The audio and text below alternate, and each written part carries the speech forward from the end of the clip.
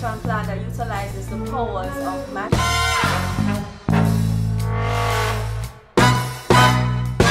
the proliferation of science and technology.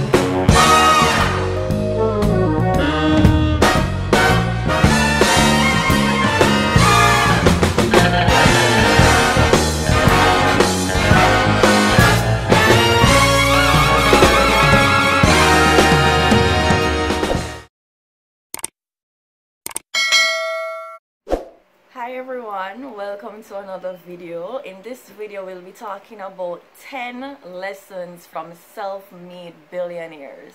Now these are people who have accomplished great things in life and you know in terms of financially they are more than stable. So let's dive right into it. And being a self-made billionaire is not an easy feat and what I really want you to get from this video is the fact that it's not impossible and that just like we're able to navigate the journey that we call life it's the very same way that we'll be able you know to to accomplish uh, the, the great things that they've done. It's all about you know resource usage and mindset that's what I get uh, a lot from content and the advice that these billionaires would have shared is that it, it all boils down to mindset and we have to learn how to look at everything in a very positive way and we have to definitely learn how to cope and how to look around nature. I remember going to a book launch recently and you know for, for one of my really good friends, Miss Chantal English, and she said that she's going to write a book about, you know, lessons from a, a, a caterpillar, lessons from a scorpion, lessons, these things that we have, insects, these living organisms, even the, the non-living, there's a lesson, there's a lesson that we can get from them, right? So let's dive right into it. So the first lesson is from Richard Branson so Richard Branson is actually the CEO of the airline Virgin. You know, in the Caribbean, we will definitely, you know, know of Richard Branson for his endorsement in various projects that all relate to renewable energy development. So he has been doing great things. He has the Branson Center of Entrepreneurship. I know we have an office here in Jamaica. So he has been supporting entrepreneurs, supporting young people's involvement in development. So the first lesson from Richard Branson is dream big. And I have a little snippet to read. So he says, Dreaming is one of humanity's greatest gifts. It champions aspirations. And he goes on to say that you know if it wasn't for dreaming there would be no art no moon landing no women in leadership no adventures. And so he posits that the benefits of dreaming far outweighs the perceived risk associated with dreaming and so he's just basically saying dream big. Don't don't overcomplicate it. Just whatever it is that you want to achieve dream about it. See yourself in that bmw see yourself running that 500 billion dollar us revenue a year business. And one of the things that i absolutely love about what richard branson has said is the fact that he highlights that you know it's it's not about accomplishing the dream because we'll dream big. It's not all the time that we'll accomplish what we would have dreamed or hoped for but it's the inspiration of you believing in yourself believing that you can achieve this believing that you know just dreaming about it it, it can come through some way, somehow. The second advice is actually coming from Mark Zuckerberg, who we all know is the founder and CEO of Facebook. So, Mark's message to us is, you know, be willing to make big bets. this advice is something that he would have followed back 2006 when he launched the newsfeed feature of Facebook when he launched it, a lot of people were complaining, saying, you know, they want Facebook to go back to the way it was. You know, people don't really like change.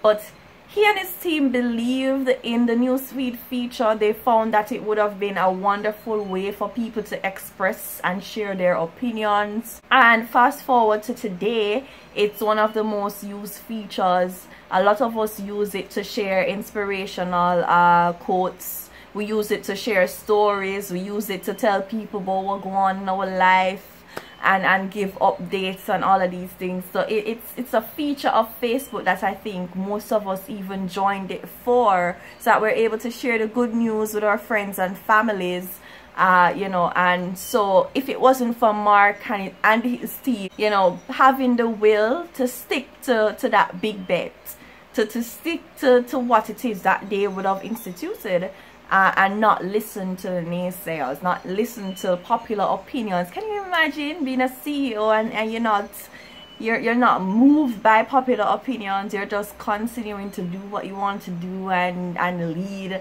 in the way that you feel fit. Like yeah, self-made billionaire. The third advice is coming from Mr. Steve Jobs. Steve Jobs from Apple. Alright, so Steve Jobs actually says obsess over details. So something that we don't necessarily know about Steve Jobs is that he was actually known to be a very ruthless person and that's because he pays keen attention to details. And we know how them kind of people they stay them very picky and you know to like get feedback from them because they don't miss anything at all. Any small detail any small change them not miss it right? And so he's saying that you need to obsess over details. So just as how you don't like when these picky picky people but the detail you see a lot of times we don't realize how much details can affect us and ruin our reputation. So even as employees as most of us are or as students you know the details in our essays the details in our papers in our proposals in the letters and the emails that we're sending those details are very important. And so you must obsess over details and started start scrutinizing your own work start scrutinizing yourself begin with you and then you can start helping others so that they can see how important it is that details are okay? So now we're back at mark zuckerberg again or for the fourth advice. And mark is advising us to apologize when we mess up. It's so interesting to see that when it is that you ask for tips, these are the very things that they're going to be saying to you.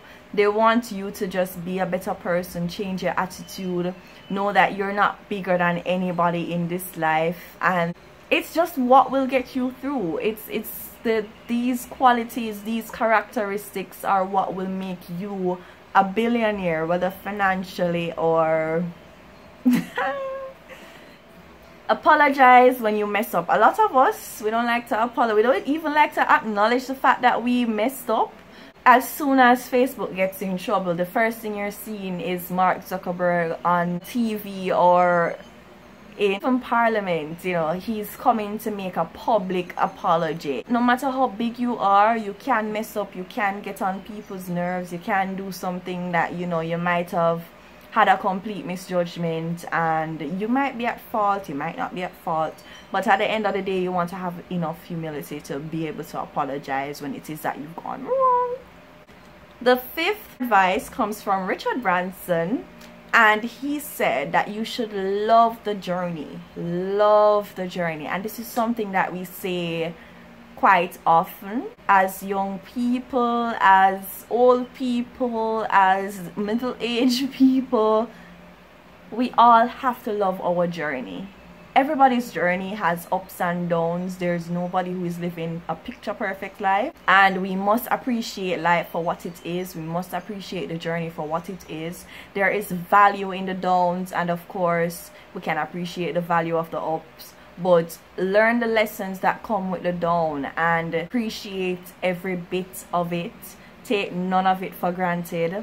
Love the backbone that you grow from the the hurt and the disappointment and the discouragement love the the hope and the the feeling of liberty that you get when it is that you're in a up feeling or when you've accomplished something great. And these together will create a, a wonderful person. You, you're on your way to becoming the next self-made billionaire our next piece of advice comes from Bill Gates, and we all know Bill Gates, Microsoft. Bill Gates' advice to us is to seek simple solutions. And I have a little scripture to read from Mr. Bill Gates.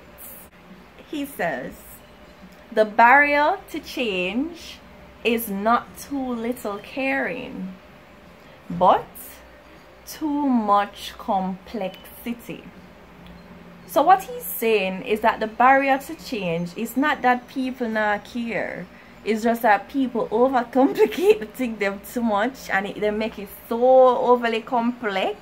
We fear things that look too complicated, that look too complex. We just, you know, you don't want to want to tackle that. And he goes on to say that we need to start seeing problems and the very same way that we see the problems the very simple way that we look and we see that this is a problem. We need to look at it and just try to envision a solution a very simple solution not talking about a quick fix but something that is efficient that has the efficient use of resources something that that speaks to the efficient use of time and you know we as humans will love simplicity. It is the best right? And it makes life so much easier. I could go and listen to what Bill Gates says right? Self-made billionaire. So we're back with Richard Branson with a very simple advice. Be yourself. And you know everybody else is taken so why not be you? And you know it's very difficult for most of us to be ourselves and I know it probably sounds very weird, right? Like, why it, would it be difficult? Because, you know, sometimes we fail to accept who we are, we fail to accept where we come from, we fail to accept the realities that we live in. And so we create a completely new person with new accents and everything, and we just are trying to fit in a one circle we never born, you know. Not saying that you cannot grow into a, a, circle that that's that's much greater and, and you know much multifaceted than the one that you were born into. But you don't want to fake it. You want it to you want it to work. And when you get there you get there. Eighth advice comes from bill gates and it says give back. And you know him being such a world philanthropist it's not shocking that he would have given this advice and I just want to encourage you that you don't have to be rich to give back. You can start with the little that you know now. You can start doing videos on Instagram or posting a status on Facebook. you know, utilize the newsfeed feature. Share the knowledge that you have. Help someone along the way do you know reach out to people who you know have, might have been struggling with something whether it is that they wanted to start a business or they wanted to further their education and they just need some assistance with finding uh, financial aid. They just need some advice. They just need some encouragement. And then you can probably organize a little webinar where you can share the information with more than one with more than one individuals. The ninth advice comes from my favorite Elon Musk because he's a scientist, yes. So Elon's advice to us is to stick to our mission. So Elon's mission is actually to help the world to achieve sustainable transport and energy. And he's advising us to just stick to our field, sick to what it is that the, the, the causes that we believe in. Don't try to be somebody who is all over the place. And you know, that's something that a lot of us kind of struggle with. I too struggle with that because I have split interests. But at the end of the day, you know, I feel like I lean more towards the the promotion of science and technology as it pertains to its role in development and sustainable development and when it comes on to climate change renewable energy i am your girl right and you know i'm even interested in environmental law, environmental policy, but it all falls under sustainable development and that's just me. So it's it's it's hard to kind of stick to your mission. But you know, I love this advice because it helps us to streamline our energy. It helps us to streamline our focus. It helps us to learn what we need to learn gain the experience that we need to gain in a specific field so that we're able to play the role that we were made to play. For the 10th point i want you as a self-made billionaire or as an aspiring self-made billionaire to drop your 10th advice in the comment section below. Based on all the advice given tell me what you think should be number 10 like share and subscribe. Thank you so much for listening